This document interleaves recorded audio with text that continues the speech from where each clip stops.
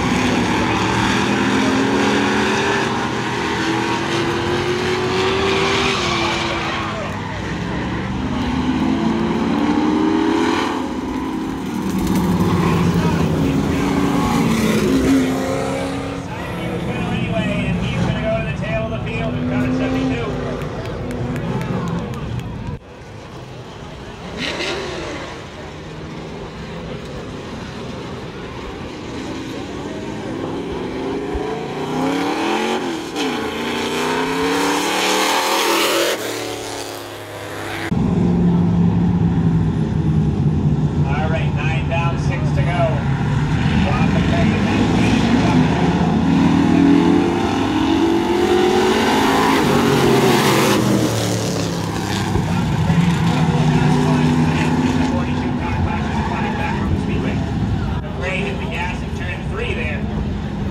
Matt Gain in the 61, Kenny Thompson third, fourth is Justin Storris, and fifth is Kenny Scott.